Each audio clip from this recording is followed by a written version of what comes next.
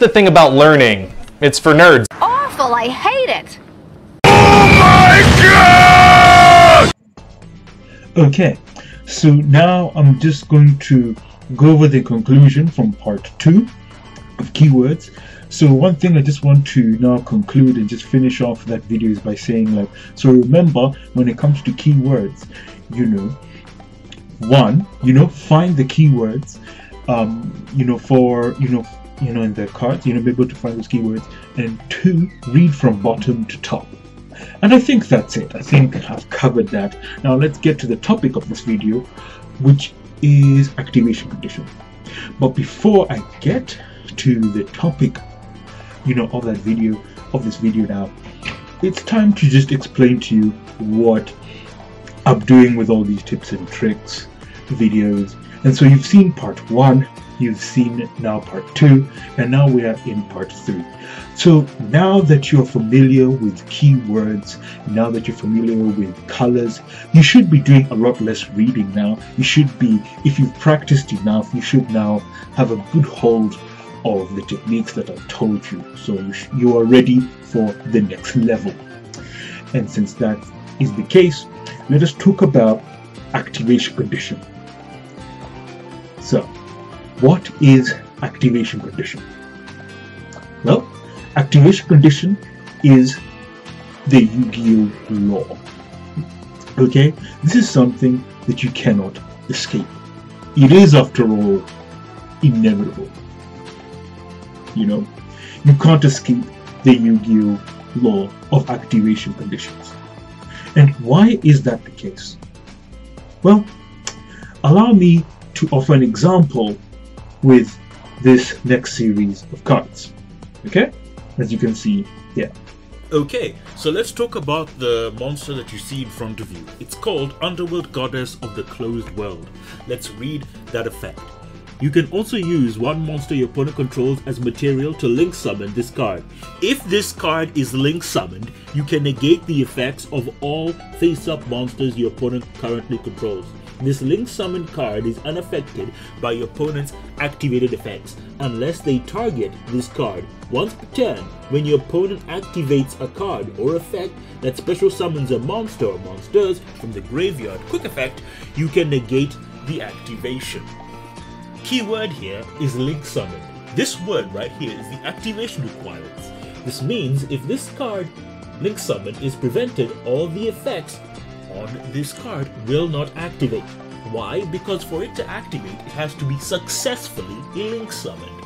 This is what knowing activation condition can do for you. Please remember, activation condition is Yu-Gi-Oh! law. Every card with an effect except normal or non-effect monsters follow this law. Yu-Gi-Oh! law states this. When a card does not meet its activation condition, it will not activate. No exceptions. So, to elaborate on this, let's look at Underworld Goddess of the Closed World. Right? So it says you can only use one monster your opponent controls as material to link summon this card. Now, that effect there can get you confused, right? Um, you know, and then afterwards it says if this card is link summoned. So, what's important here is the second sentence, right? Of this card.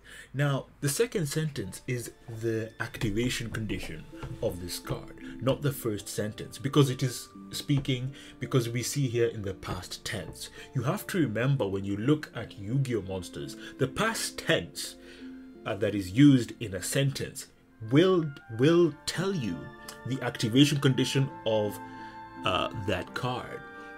So, this therefore means that if you if um, the player owning this card fails to link summon, the previous the previous effect that as you can see in the first sentence will not apply because in order for that effect to apply, the link summon has to be conducted. Do you see where we're going with this? So it's important to understand about activation condition. Now, this is the general rule of activation conditions, right? You will usually, 90% of the time, find them in the second sentence of every effect text on a monster. This will be the activation condition. Right? The only times you're not going to find them there is, you guessed it, you will find them close to the keywords, the things that I was telling you before in part 2 in tips and tricks. Remember, I was telling you as your Yu-Gi-Oh sensei to memorize and understand keywords. Now here's where what I was telling you before comes into play. Finding where these keywords are is also where you will find the activation condition. If it's not um, where, you know, in the first sentence, then you will always find it near your keywords. And this obviously activation condition applies where you know there's summon condition as well of that monster. So it's usually tied to effect monsters that have a summon condition as well. They'll usually uh, usually chuck in there the activation condition of that card. So bear that in mind. Okay, that's it. Next! Very interesting. Let's talk about this card that you see in front of you. It's called Red Eyes Dark Dragoon. Red Eyes Dark Dragoon has the following effect Dark cannot be destroyed by card effects. Neither player can target this card with card effects. During your main phase, you can destroy one monster your opponent controls. And if you do, inflict damage to your opponent equal to that monster's original attack. You can use this effect a number of times up to the number of normal monsters used as fusion material for this card. Once per turn, when a card or effect is activated, quick effect, you can discard one card. Negate the activation, and if you do, destroy that card. And if you do that, this card gains 1000 attack points. Remember, the key word technique I talked about in part 2, remember to apply it. Usually, activation condition is found in the first sentence. This rule while only will only apply if the monster has a summon condition. If not, the activation condition will usually be found near the keyword. As you can see here, quick effect, you can discard. Showcased in brackets, you can see the activation condition, which is you can discard. So how do you prevent its activation condition? It's simple. Stop the owner from discarding, or in other words, keep the owner of this card handless. Please take note, preventing a card's activation does not necessarily mean negating a card. As long as you prevent its activation condition, it will become useless. Yes, as I've said so, fellow students, as long as you prevent its activation condition, the card will become useless. This is something that you need to remember when looking at cards. Remember when it comes to activation condition, you know, you need to be looking at those keywords and finding a way to prevent those keywords from resolving. That's what's important. Okay? That's really all I've got to say about this. Coincidence? I think not! So I've talked about, you know, the underworld goddess, and you know, I've also talked about, um, you know, dragoon, right? But let's look at the underworld goddess and go to that, um, you know, example again. So as I've said there, I'm just gonna just skim through it really and not really go into detail in it. But I do say that you know, it's what is its activation condition? As you know, said here, ladies and gentlemen and fellow students of the Yu-Gi-Oh Sensei, its summon condition, which will be tied to the activation condition, is in order to activate that effect on summon, it needs to be successfully link summoned, right? So if it is not link summoned, it won't activate its effect. See, it's just that simple. This is the Yu-Gi-Oh law that I'm talking about. You know, every single card in Yu-Gi-Oh except normal or non-effect monsters follows the Yu-Gi-Oh law. Everything, and I mean everything with an effect, right, will follow the law of activation conditions. There is no escape. You cannot run from this law. You cannot hide from this law. You must accept this law. There is no escape. And this is important. You must accept this must accept this Yu-Gi-Oh law if you're playing Yu-Gi-Oh at the higher levels. Right? Now allow me to give an example of how you know this law helps you in understanding Yu-Gi-Oh at a higher level. Let's talk about Dragoon, right? So Dragoon, what is Dragoon's activation condition? Well, obviously I'll just summarize it summarize it real quickly, but it is, you know, you discard a card in order to activate an effect to negate a card, right? So, in essence, how will Dragoon activate its effect? Well, you need to discard a card. See? So, that's the activation condition. Now, understanding this and knowing this is important. And so we can use various amounts of ways to stop the uh, Dragoon from activating. So one of those ways that we can do is, you know, stop your uh, card from activating is by not allowing your opponent to discard. If they cannot discard, then they cannot activate. See, it's just that simple. Nothing complicated there. Um, so now let me just go on and continue, you know, as I go over this, you know, a little bit more. So, you know, a card we can have to stop Dragoon from activating is a card called Goblin of Greed. Now, Goblin of Greed is a fiend, you know, it's a level 4, it doesn't have a lot of attack, and it has a continuous effect saying neither player can discard cards. So, is this card a good card? No, by all intents and imagination, you know, it is considered a bad card. But that right there, students, is what I want to what I want to say. You know, there is no such thing as a bad card.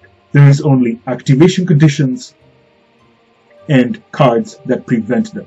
Remember this and remember this well, students, that Yu-Gi-Oh cards are solely designed to prevent activation conditions. There is no good or bad.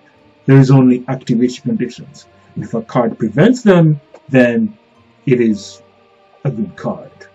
You know? That is something that you need to accept.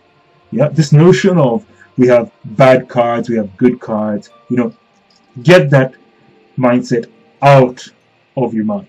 You know, if you want to become a better player, if you want to be playing Yu-Gi-Oh at the highest of levels and become a Yu-Gi-Oh master, you need to accept that there is no such thing as good or bad cards, only activation conditions and cards that prevent them. Besides, you know, a bad card today is a good card tomorrow. That's the way I see it anyway. At the end of the day, Goblin of Greed, yes, is a bad card. But is it really though? It's a card that prevents Dragoon from activating. And yes, currently right now it is a bad card. But you could use it in an anti-meta deck. Now I'm not saying, you know, go get yourself a Goblin of Greed, you know, I'm not saying like, you know, get this card immediately. But having this mindset, right, is that's how you get, hmm, let's say, spicy tech, right? Spicy tech in Yu-Gi-Oh! really, if I'm gonna be straight with you and I'm gonna be honest with you as a Yu-Gi-Oh! sensei, is cards that prevent activation conditions. It's you as a player understanding that every card in Yu-Gi-Oh! has an activation condition and you preventing it. That's it. It's just that simple. And please remember that every card in Yu-Gi-Oh! Has an activation condition except normal or non-effect monsters. And every card follows that law.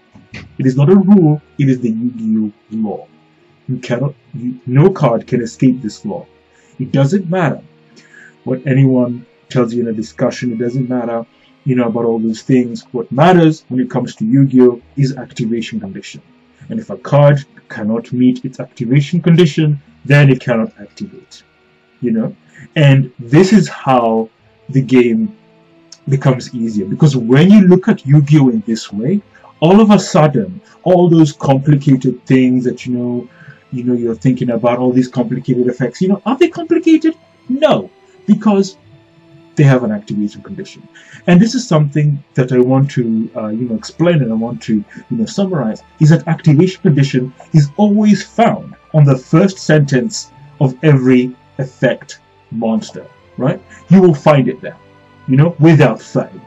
You will always find the activation condition in the first two sentences of any effect card that you read, right? It is there, you know. And if it's not there, then it's usually part of the summon condition of set monster.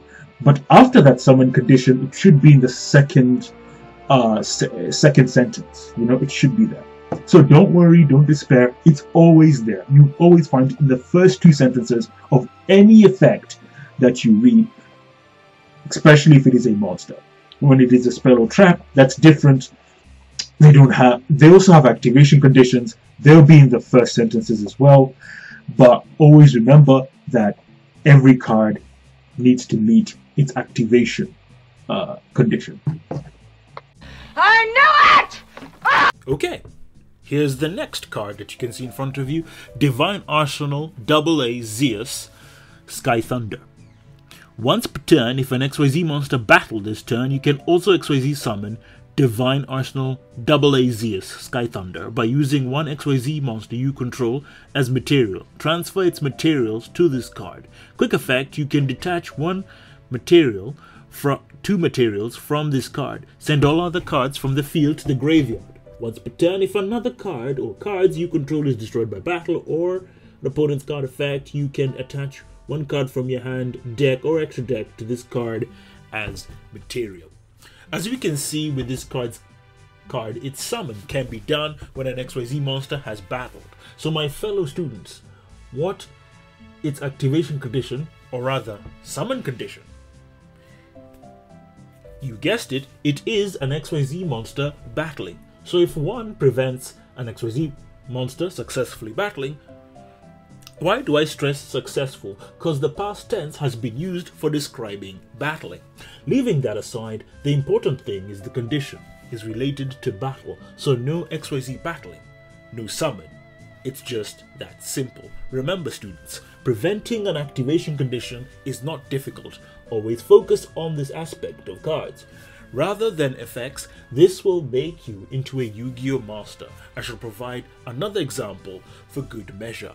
And this is one thing that I want to repeat again when it comes to activation condition. As you've seen there, it requires you to have an XYZ monster that successfully battled. Another way to stop, uh, you know, this card summon is to destroy the monster completely. This, uh, you know, divine, uh, you know, the hopefully if you're battling a monster if it's destroyed and there's no xyz monster on the field then divine arsenal double azs cannot be summoned because there is no xyz for it to overlay itself onto.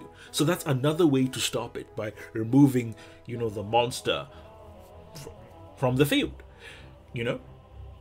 Also by by you know denying the you know the battle phase you know or not making sure that your opponent the person who owns this card, sorry, doesn't have a successful battle. Okay, let's move on to the next card. Alrighty. Look at the card in front of you. Super Polymerization. Discard one card. Fusion summon one fusion monster from your extra deck, using monsters from either field as fusion material. Neither player can activate cards or effects in response to this card's activation. I know what you're thinking, students. This card and cards similar to this have no response. It's unbeatable. They are all unbeatable. As your Yu-Gi-Oh sensei, I ask you, why are you afraid? Don't you remember what I've been saying all throughout this video? Every card except normal and non-effect monsters follow Yu-Gi-Oh law. It does not matter how powerful the card is, it doesn't matter how many words and elaborate it seems. When a card can't meet its activation condition, it won't activate. It's just that simple. So have no fear. Remember this. All cards in Yu-Gi-Oh! except normal and non-effect monsters follow Yu-Gi-Oh! law. No exceptions. Yes, my fellow students, always remember this. The law of activation condition is absolute, it is final. Nothing is above Yu Gi Oh! law. Embrace it and accept it and use it for yourself. That is all I've got to say about this matter. Okay, so I think, you know, I've just gone over that. I've gone over, you know, the activation condition. I've gone over, you know, why, um, you know, it is important. And, you know, I, I call it the Yu-Gi-Oh! law.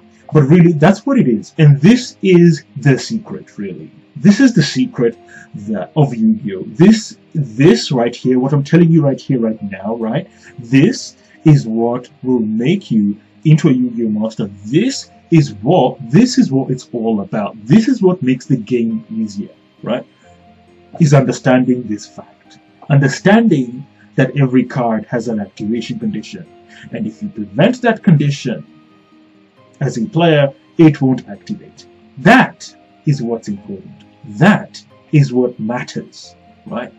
Once you have this mindset, and I really want to repeat, I want to hammer this home, right? Once you have this mindset, nothing, and I mean nothing in Yu Gi Oh! can make you afraid. There is, there is, you will have no fear because effects are all the same. Everything in Yu Gi Oh! is the same. This is what links everything together activation conditions. And obviously, when I'll be going to part 4 and part 5, I'll be talking about how we will use activation condition to answer even the most difficult questions, even the most toughest things that Yu-Gi-Oh comes up with. Even the most complicated things like chaining, multiple effects, you know, all all this, all, all of this, all of this, you know, all of this. Like, oh my god, what do I do? it's terrible. I can't understand. But don't worry, don't despair as you Yu-Gi-Oh Sensei. Remember this, right? And remember this quote that I'll quote right now. There is no such thing as bad cards, only activation conditions and cards that prevent them. Repeat after me. There is no such thing as bad cards, only activation conditions and cards that prevent them. Remember this. This is your mantra. This is the way. There is no such thing as bad cards. Only, yes, cards that only activation conditions and cards that prevent them. It's just that simple. That's it. This is that's the secret. There's no there's nothing else for me to say. Learn it, master it, and practice it. And you'll become a beta player. Okay, you won't become a Yu-Gi-Oh! master, I sort of lied there, but eh, your teacher's assuming.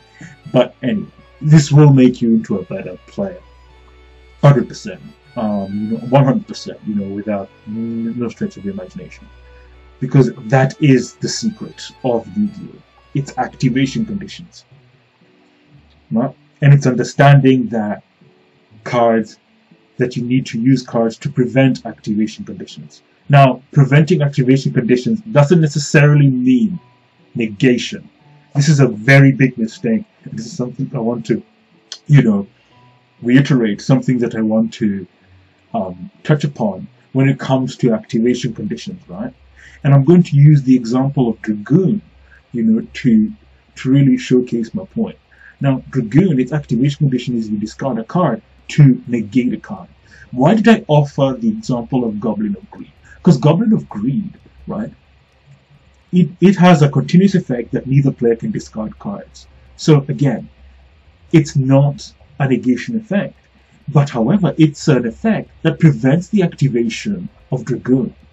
It you, Dragoon loses, you know, those activation requirements. Because again, for Dragoon to activate, you you need to discard a card. But if a card cannot be discarded, then it cannot activate its effect. Another way to stop Dragoon is you could be a little bit more inventive. One of those things is to understand that your opponent that to activate Dragoon, you need to have a hand. But if you have no hand, then you cannot activate the effect of Dragoon. So using a card like Summoning Curse, for example, Summoning Curse is a continuous spell that has the ability every time you every time you special summon, you know both players banish a card randomly from their hand, right? Each time a special summon is conducted. Yeah? So you see, there again is a way to prevent Dragoon. You know, again, you minimize the hand. What other thing can you do to create, make your, uh, you know, your, your opponent handless? You could have, you know, General Raiho, you know, a level 6 warrior water monster with the ability that every time your opponent activates a monster effect, they discard that they cannot activate a monster effect unless by discarding a card. So, you know, for them to go into, you know, Dragoon, they're going to have to go into Verte Anaconda and all other kinds of monsters. And to go into all these plays, they're going to have to discard cards. By the time they get to Dragoon, they won't be able to activate its effect because they have no hand. And why don't they have a hand? Because they've been discarding due to the effect of General Raiho, which you have on the field. Remember, this is how you deal with problematic monsters. This is how you deal with things. Let's go and go into a common uh, card you know we have in the game, like VFD. Again, how do we deal with VFD? VFD is an XYZ monster, correct? Correct. So in order for VFD to be summoned, and because it's a rank 9, you need two level uh, 9 monsters on the field. So how do you prevent its summon? But, but, but more often than yet, you need to not think how to prevent its summon. How, do I ask, do I say it, do you prevent the activation condition of Dragoon? Oh, no, not Dragoon, sorry, of VFD. You know, of True King All Calamities. Well, first of all, just prevent it summon. One of the things you could do with this is Flying C. You can use Flying C, chuck it on your opponent's side of the board, and they cannot XYZ summon. Again, it meets the requirements, it stops the opponent XYZ summoning, and thus meaning they cannot activate, they cannot summon VFD. Another thing you could do is you could use level manipulation.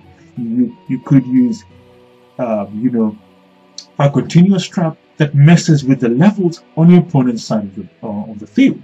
Again, what is the condition to make VFD? The condition is they need two level 9s. So, if they don't have two level 9s, can they make VFD? No, they cannot. And as a result, that's what you need to do. You need to understand, right, that VFD is only but a monster. It's only but effects. As long as you prevent that activation condition, right, then it will not activate. It's just that simple. So, what have we talked about? We've talked about level manipulation to stop True King of, of all calamities. We've talked about preventing the summon, right? You could do that. You could even go as far as, you know, just stopping X, XYZs from coming, uh, stopping special summoning altogether. But that I feel is a card we don't have yet, whatever, you know, things like that. Anyways, so that's there's an example of VFD. But let's talk about another card that sees a lot of play now, Divine Arsenal. You look at Divine Arsenal and you're intimidated, I'm sure. You are scared. You know, you're like, what am I going to do here? You know, we have the we have Divine Arsenal. But here's the thing. Let's look at Divine Arsenals and let's look at that first um, sentence there. What does it say, students? It says, what? In order to be XYZ summoned, an XYZ monster has to have successfully battled. Do you see right there? Successfully battled. So in order to summon it, a battle has to have taken place, and it has to have been successful. So what is the thing that you can do to prevent the summon of Divine Arsenal? Well, don't have, let your opponent, don't let the opponent have a successful battle.